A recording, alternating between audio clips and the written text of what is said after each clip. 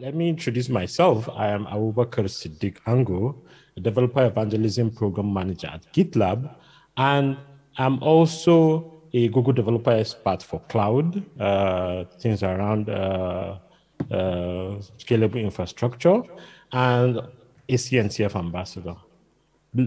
I've lately my interest have been in supply chain security and uh, I've been sharing quite a lot of content around that also. I'm based in The Hague, Netherlands. Yeah, just around two, three hours flight from Dublin. But hopefully get to see you uh, to next time. You can always check me up on my website, which is on abuango.me. Now, today we'll be talking about containers and container runtime. What exactly are containers? Now, traditional deployment of our applications used to be, oh, you've written your application, you set up your hardware or your server that you want to use, install your operating system, and install your application. Basically, it takes up the whole machine, the whole hardware. That is, uh, if you are using a metal server. Now, but things evolve to we having virtualized deployment where you you have on your uh, metal hardware, uh, metal server, that's your hardware server, you'll have installed your operating system. Then install a, a hypervisor. It can be VMware or VirtualBox or QEMU or whichever one. And with the hypervisor, you can then create individual virtual machines. Now, these virtual machines are completely isolated from each other, each having its own operating system, and the binary is needed for your applications to run, including your application and it runs. This is how most cloud environments work. You can create VMs. You can go on GCP or AWS or any of them, create VMs. These VMs are running on top of a hypervisor that is able to provision those servers almost uh, on request. Now, but things have evolved to where, yeah, we all know this term of hey, I built an application, but it works on my machine. But now, how do we ensure that what works on your machine also works on live environment? Basically, we should just ship your machine. And that is the concept around containers. Not, not that we are going to take your machine and put it online, but the binaries and everything, the setup that ensures that the application runs on your system is replicated online and using what we call containers and container runtime. Now, the way it works is you have your hardware, you have your operating system installed. Then on top of that layer, instead of a, of a hypervisor, you have a container runtime. Basically, the job of the container runtime is to take the specification that has been set by your application uh, definition then talk to the operating system to provide the resources that your application needs, to provide the different components that your application would need to run, while your application comes with the necessary binary it, binaries it needs to run and starts running within the environment created for it by the container runtime. So basically, you are not your application is not running isolated. Your container is not running isolated. It's running alongside other containers sharing the same resources with the host operating system that is provided. Now your uh, operating system can even have access to some of the processes or some of the files that have been generated by the containers. And your container can even communicate with one another. So basically a container is a bundle of your application and all the binaries it needs to run, while the container runtime ensures that the operating system is able to provide everything that your application needs based on the specification provided. Now, let's go through in the past, the Linux operator, there has been several ways the community has tried to replicate containers, right? From the inception of Linux, there has been ways that, oh, we need to restrict this process or this application to run within a sandbox or within an environment. And there has been different ways to jail processes to certain parts so, so that there won't be conflict or there won't, a process won't tamper with another file or something else that another process needs. And the concepts like CH roots have been coming up, jails have been coming up within the environment right from the early 2000s. And it evolved into C groups where Google introduced, okay, on this server, how do we restrict the amount of RAM, the amount of CPU that a process needs? How do you make sure that the uh, a process that is running does not overuse beyond what it needs?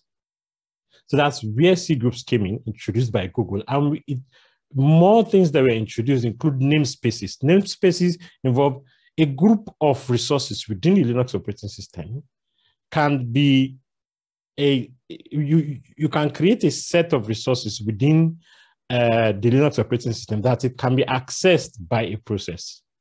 So and they can easily be identified that okay, this process, this is the uh, maybe uh, host resources or networking resources or any other resources that it needs.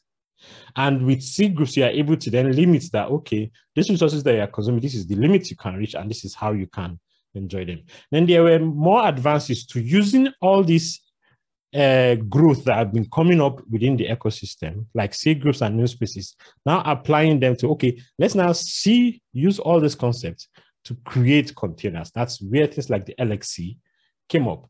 And that is the stage from which Docker became uh, a thing. Now, let's deep down a bit the concept of CH root. Let's add in the image here, we have our root directory on our system, which is the slash. And from there, you have your normal Linux directories like the bin, home, user. Now let's now assume there's a user called me and a folder has been created called test.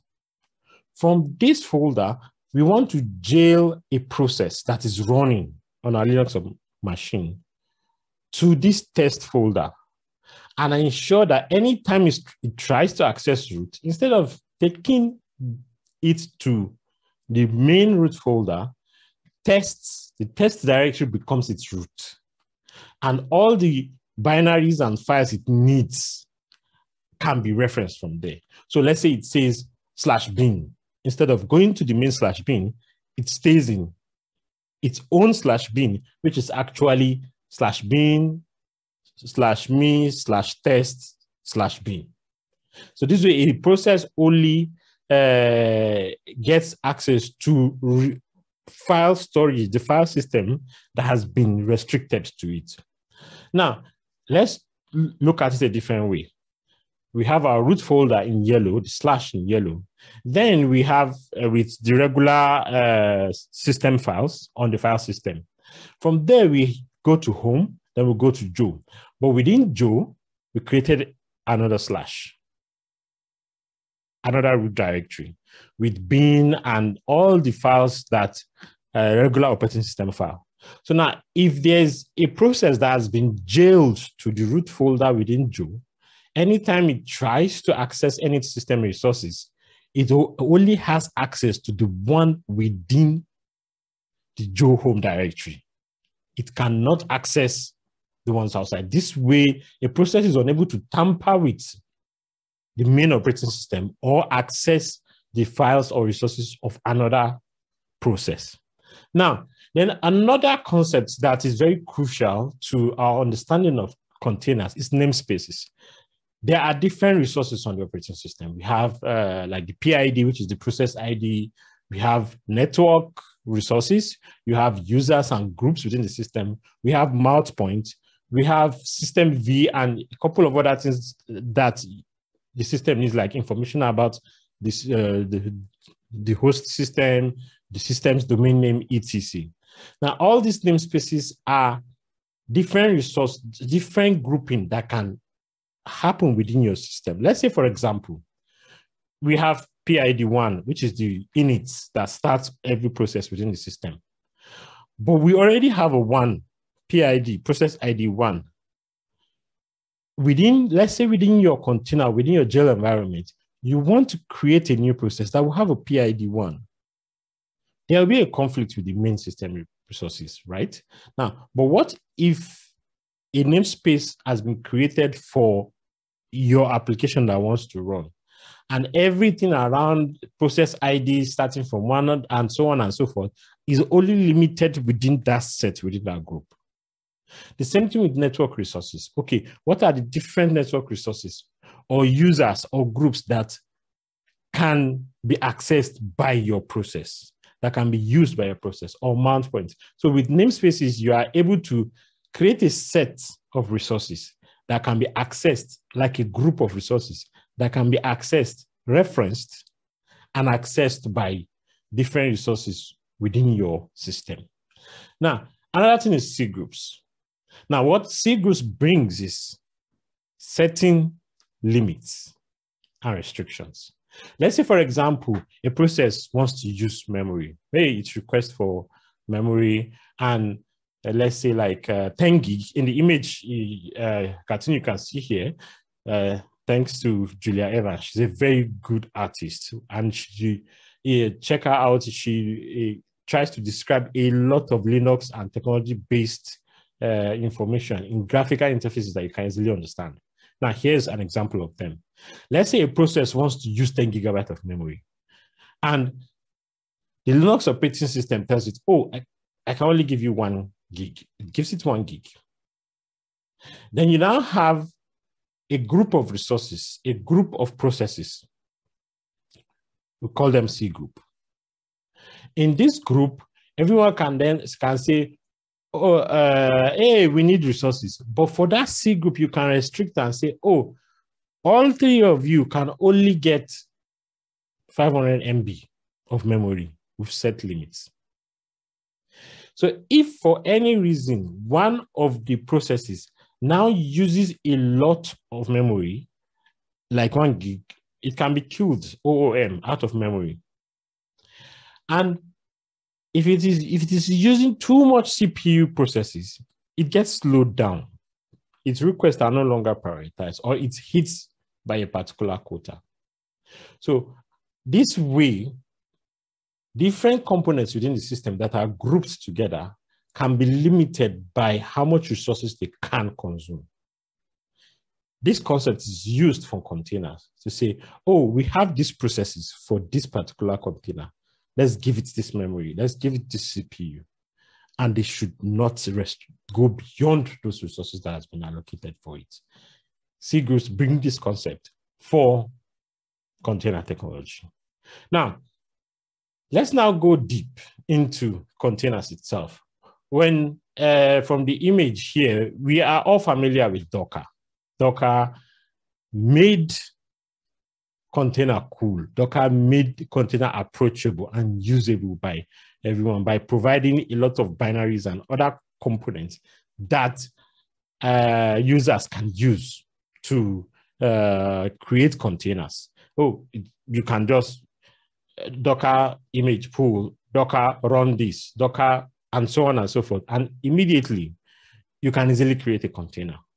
But Docker is doing this by having what we call Docker daemon, a Docker engine that is sitting, that is installed on your system, that does all the, receives requests from you, communicates it to uh, the runtime that is running the container engine, uh, the Docker engine, and tells that tells the operating system, oh, create this container image, do this and do that. Now, one of the, we will have noticed recently, or the issue in the Kubernetes community where uh, Docker was um, deprecated from Kubernetes and it became an uproar on Twitter. It's because when Kubernetes was originally uh, developed, Docker was baked into it, it was hard coded into it. But it came to a point that it was adding, and they had to introduce uh, a layer within Kubernetes that translates requests and other things from Kubernetes to Docker. And a lot of other uh, organizations started, oh, since it's not only Docker that's available as a container engine, we want to use others, other container runtime that are available out there. It became difficult for Kubernetes to now say, okay, let's allow some of these other uh, container technologies. So that extra layer called Docker shim had to be introduced that then uh, translate all commands and all requests to Kubernetes. So it's one of the reasons why new container technologies and a lot of others that we've not been hearing before came up. But if we are looking at the hood, what basically happens? When you execute a Docker command, in the image here, you will see we have the client tool, which is what uh, talks to what you use, what you call when you're running your Docker commands or you're using the Docker interface. It talks to another tool called container D. And this container D is like the high level runtime that receives your request and translates uh, it to tell the low level runtime, which here we call runc, that which in turn tells the operating system, this is what you need to do. You need to create this container. These are the resources you need to add for to it. These are the applications you need to do. Now, from there, your application starts and it runs. So basically, container D manages your container, uh, how it's running, how it's executing. But runc at the low level initiates the creation and preparation of the container. Now, Docker made a lot of contribution to the ecosystem. Initially, they decoupled their Docker and uh, their Docker engine and removed containerd and runc and contributed it to the community. And this contribution that they made led, led to collaboration with other entities to, to now come up with the Open Container Initiative. Now, the Open Container Initiative then created a standard to say, what should a runtime do? What should a container look like? How should they all communicate so that we'll have a standard across? That way, an application or a service or some orchestration tool, whatever it is, can easily understand any container that is created by any runtime or any clients tool. Now, like I was saying in the beginning, Docker was made to be very easy to use by everyone, but it came at a price. Automation became difficult. Several layer of abstraction had to be added before it can be used. So Docker recognized this, and that was one of the reasons why they decided to contribute Run C and Container D to the community. Now, basically, any runtime that was creating a container can be able to create, start, get the state of it, kill it, or delete. And it does all this talking to the container image and uh, the, the container that is running this way, with this standard, any container can work the same way, either on a laptop or anywhere. The same standard is maintained.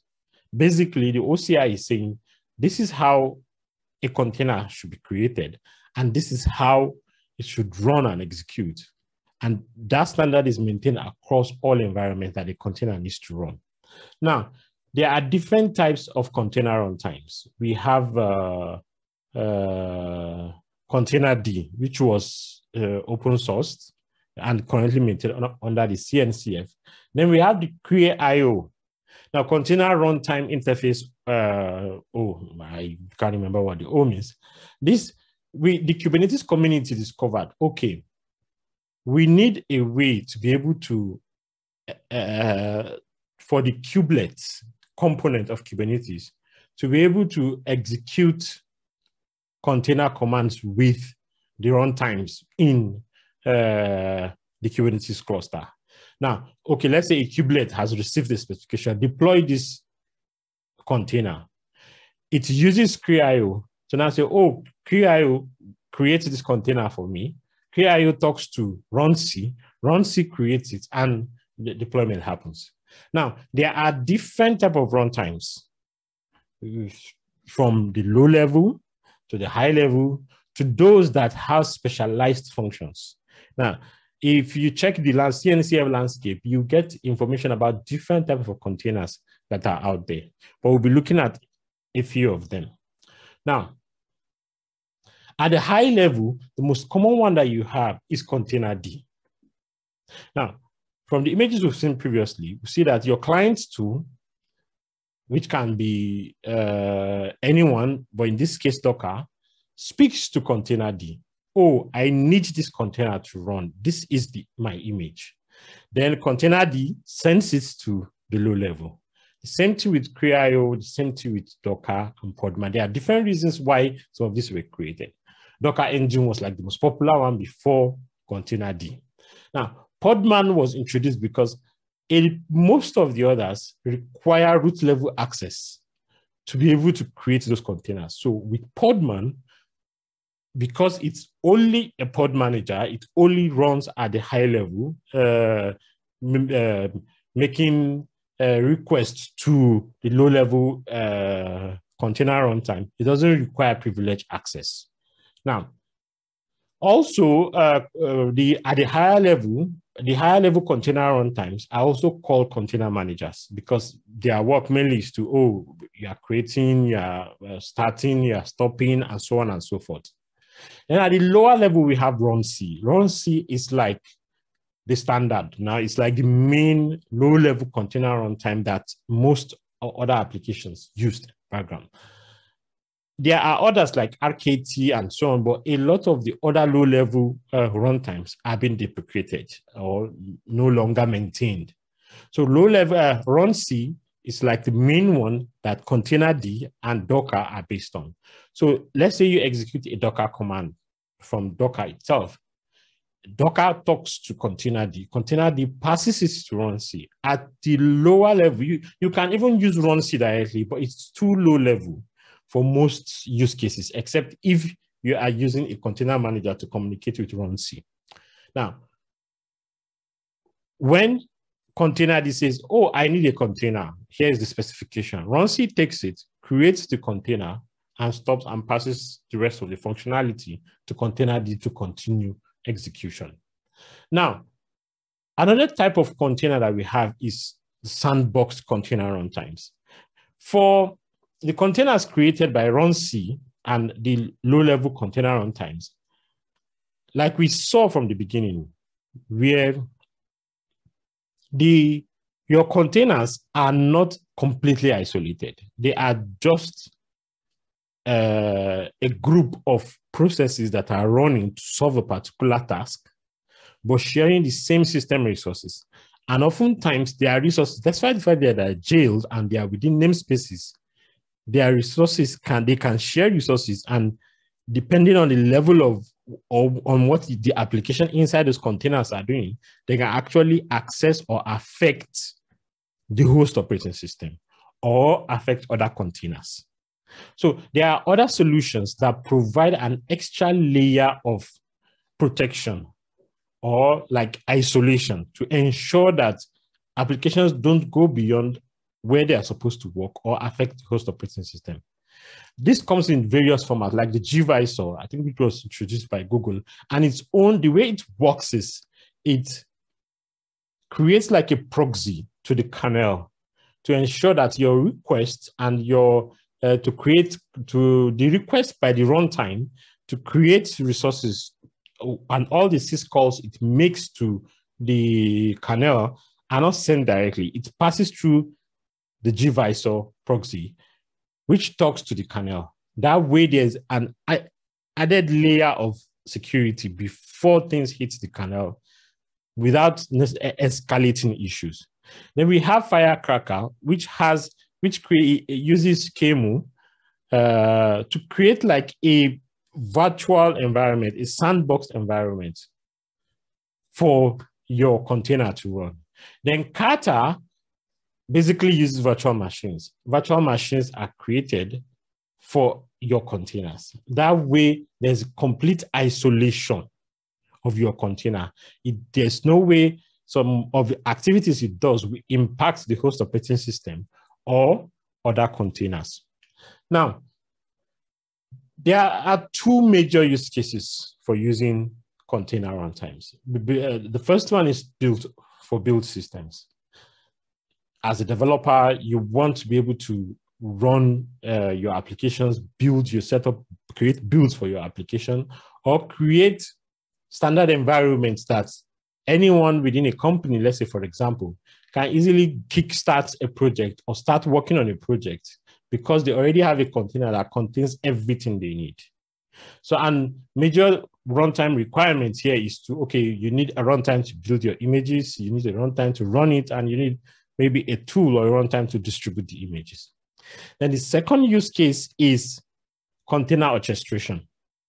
Content, these are where, okay, after in some situations, your container might not need some serious orchestration. Basically, it wants maybe your use case is just, oh, run your container within your cluster, provide the necessary port forwarding for it, and your application runs maybe on port 80 or port 8080, just a single container or a couple of containers, and you are fine. You don't need a lot of scalability. But when you need scale, you need a way to be able to create your container images, pass it to an orchestrator, for example, Kubernetes, and it takes that image, deploys it as a container on a pod, and it runs.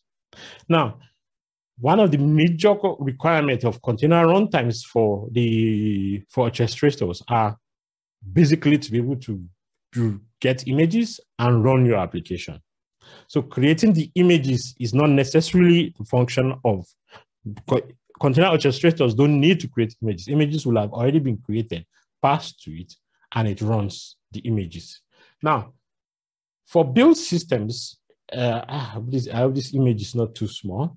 There are the main way that almost everyone is familiar is uh, basically by by uh, using Docker. You use the Docker CLI Oh, so my stylus isn't working. No problem. Now you you run your Docker run image, which is Docker CLI. In the left side of this image, it's the Docker CLI. Now, once you talk to the Docker CLI, which is the client to Docker CLI, will then talk to Docker engine. And that Docker engine talks to containerd. Now, containerd then executes, uh, prepares the instruction and passes it to run C. And run C talks to the Linux kernel. But this is for Docker. And Docker comes with a whole suite of tools. The Docker uh, binary comes with a whole suite, the, both the client, the uh, Docker engine to build the, the containers, etc., and before it talks to containerd. But if you are not using Docker, or probably due to licensing issues or due to company policies, you need other tools, especially that are open source, to be able to create your containers. And we have for you for images, talking to image registry, publishing to them or pulling from them, we have Skopeo. With Skopeo, you can communicate and interact with uh, container registries. Then we have Podman, which is a container manager. You can use it to uh, create containers. You've pulled your image. Now you want to create containers. You want to check pods. You want to do uh, exe. You want to ex- uh, exec into them, and so on and so forth. Then, if you want to build images, we have Buildah. With Buildah, you can build container images. Let me try again. Whether oh, it's not working. Awesome. Okay, we have Buildah and Buildah here,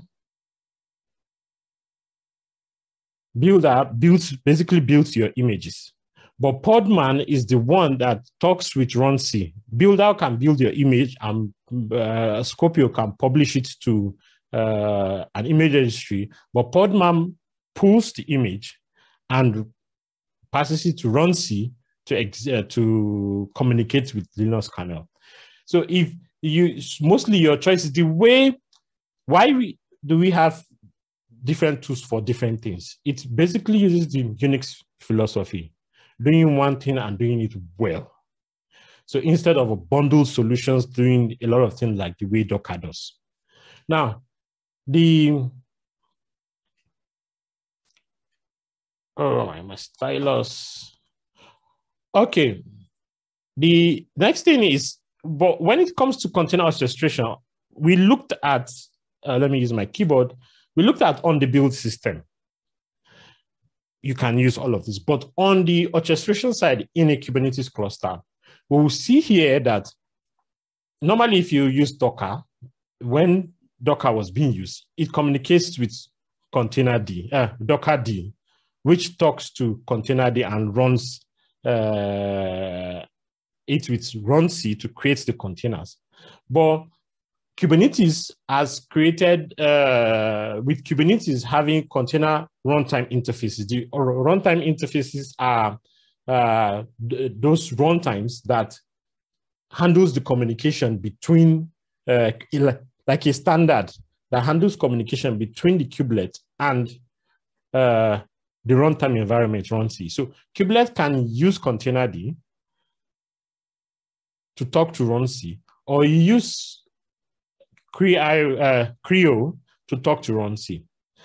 That, that way, there's no restriction or a specific uh, lock-in for a particular Docker client that needs to be used or runtime that needs to be used, unlike before where Docker was built into Kubernetes.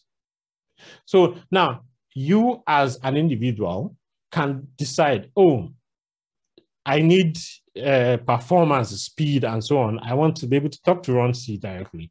I want, uh, or I'm basically a developer, and I want to build my images on my system. You use Buildah, B U I L D A H, or you want to publish your repository um, images to, after you've built with Buildah, you want to push your images to a container registry or pull from it, you can use Skopeo. And you want to be able to run your containers, build, uh, create containers, and you require a container manager. Podman does it for you. And Podman communicates with containerd in your system, which in turn talks to runc to build your images. Now, alternatively, if you have to use Docker, or you can still use Docker, it's available, though there are restrictions on what you can do depending on the size of your company. You can always use Docker, but one using Docker is not the alternative.